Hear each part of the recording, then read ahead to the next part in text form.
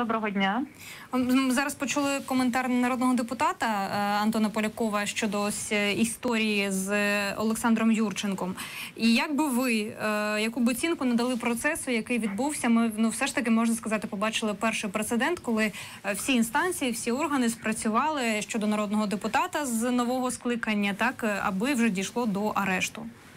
Ну але ж працювали перш за все завдяки шуму від громадськості, тому що е, між арештом помічника і підписом пройшов майже тиждень. Все залежало від генеральної прокурорки, яка чогось довго вагалася, тягнула. Це та сама е, корява знята депутатська недоторканність. Або б її загалом не знімали і вирішувала Верховна Рада, або б не робили так, що одна залежна від президента людина буде визначати, кого притягати до відповідальності, кого ні. А поки вони ковирялися з цим підписанням, вже можна було купу доказів перепрятати. Окрім пані Венедіктової, до НАБУ та, е, та до антикорупційного суду цих інституцій, як вони е, спрацювали, є питання? Е, до, до суду немає, а от до НАБУ є в чому. Можливо, їм потрібно швидше, оперативніше інформувати громадськість, щоб не затягувалася ця справа підписання. Бо НАБУ поки вагається, поки вони оце цю грають в дипломатію, врешті, поки всі думають, поки доходить вже шум до АП від громадськості, тоді починають розуміти, ой, щось треба підписати, бо людям не подобається, що ми нардепів не садимо. Це не не має так працювати. Взагалі, це ми маємо знати вже, що підписала генеральний прокурор, вже в суді там розглядають, а не у це шляхом е, казкового пенделю пинати всіх робити свою роботу. Ну, а з точки зору того, що ми принаймні бачимо в оприлюднених матеріалах, е, ми зараз якраз з Антоном Поляковим теж говорили про те, що адвокати можуть будувати свій захист. Ну вони традиційно це робили і в справі Розенблата в попередньому скликанні. Ну і от зараз вже певні заяви були. А, нібито народного депутата спровокували так на цей хабар, і в такому разі, ну тобто, це ця справа не може розглядатися. е, В нього є там певний так і- і- імунітет. Е, Чи дійсно з того, що відомо, чи є підстави вважати, що на цьому е, вдало вдасться будувати свою стратегію адвокатам? А справа в тому, що ми не знаємо до кінця, які там матеріали справи. Якщо так, провокація хабара є така стаття, є таке е, юридичне визначення. Тому це ми зможемо побачити тільки у ВАКС, е, ну у вищому антикорупційному. Мгм. Поки що у вищого антикорупційного чималий рейтинг довіри порівнянні з іншими судами. Тож побачимо. І адвокати будуть, звісно, будувати найкращу позицію для свого клієнта. Там побачимо. Е, Щодо того, що ми чули на записах, також також хочу вашу позицію запитати. Та людина, е, яку підписували там як народного депутата Олександра Юрченка, він е, розповідав е, про існуючу схему в комітеті, за якою вже вдавалося один з законопроєктів е, протягти або правки, коли інші члени комітету отримали гроші. Скільки вони отримали там і як це, це був розподіл? Щодо цих фактів, з огляду на те, що було почуте на відео, можна розпочинати також певне слідство, певні розслідування, якщо в принципі йдеться не про одного народного депутата, а він розповідав про, про діючі схеми в комітеті серед інших фракцій, я так розумію, в тому числі.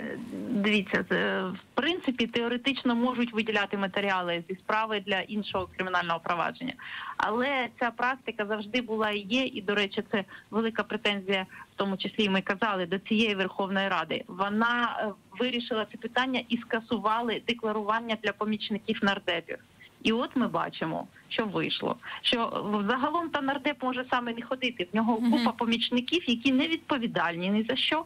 Вони кеш приймають, а потім ми навіть не бачимо їх ні доходів, ніякої відповідальності, навіть НАЗК не може їх притягнути, сказати, звідки кошти і так далі. Це скасувала саме ця от Верховна Рада. Нещодавно хвалилася. Ой, це дурна затія, що помічників нардепів декларуються. Ось вам якраз воно і вилізло боком. І так це завжди стара історія. Це і при минулій Верховній Раді було. Це питання того, що в нас досі не узаконений лобізм. Якщо ви лобіюєте якісь закони, чесно відкрито, то тут нічого такого немає. А зараз в зв'язку з тим, що цього шляху законно немає, вони роблять таким рішаловом і. Тоді громадськість не знає, що там за законопроект виходить, і потім ми вже узнаємо такі дикі статті нові в законі, що ми просто у всіх волос волосся дитки. А так би громадськість обговорювала все було Так, ну це так, це дійсно окрема велика тема.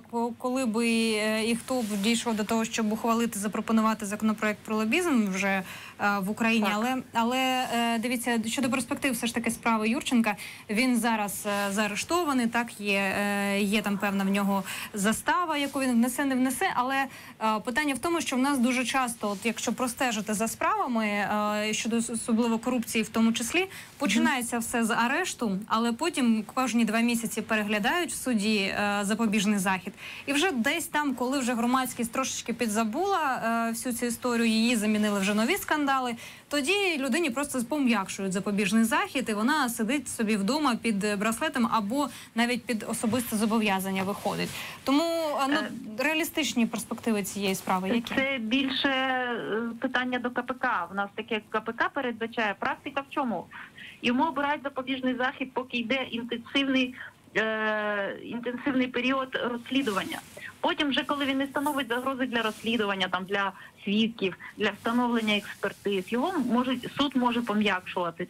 Тим більше, якщо він не порушував. Це ну тут немає нічого. Це про європейські е, стандарти. Тобто тут такого нічого немає. Але питання щодо громадськості, яка не звертає увагу, так за всім не, не, ну, не встигнеш просто стежити. Тому там вже буде вирішувати суд. Поки що до ВАКСу немає таких от претензій, що Мгм. вони там щось завищують або ще щось. Якщо зараз от, е, люди кажуть, ой, а чого йому заставу призначили? Бо статті КПК там саме це передбачають. Він е, це не той злочин, за який його можна закрити без права застави. так, ну це так, але е, і ще коротко, він може виконувати паралельно обов'язки народного депутата чи ні? Як там законодавство А передбачає? е, поки людина не визнана, це конституція передбачає, поки людина не визнана судом Мгм. винною. Нічого не можуть і відсторонити його немає. Я навіть не пам'ятаю, що був порядок відсторонення народного депутата.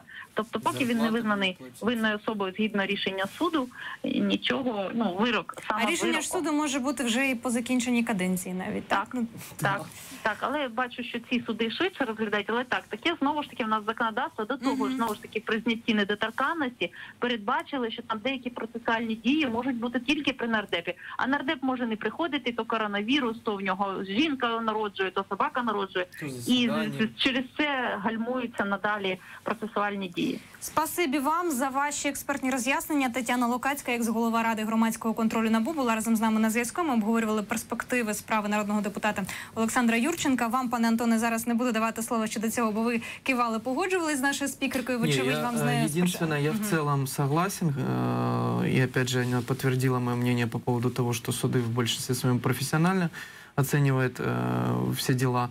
А вот то, что подается в суд уже, заведомо э, провальное дело или нет. А единственное, в чем я не согласен, опять же, я заявил о том, что э, НАБУ вело так же самое депутата Халимона и Мотовиловца, и э, подавала фабулу и соответствующее э, на подпись э, прошение у Венедиктовой, чтобы она разрешила следственные действия, потому что правильно Татьяна заметила, э, неприкосновенность не сняли. Я сразу говорил, это фикция. Просто теперь не Верховная Рада решает, э, можно ли вести какие-то следственные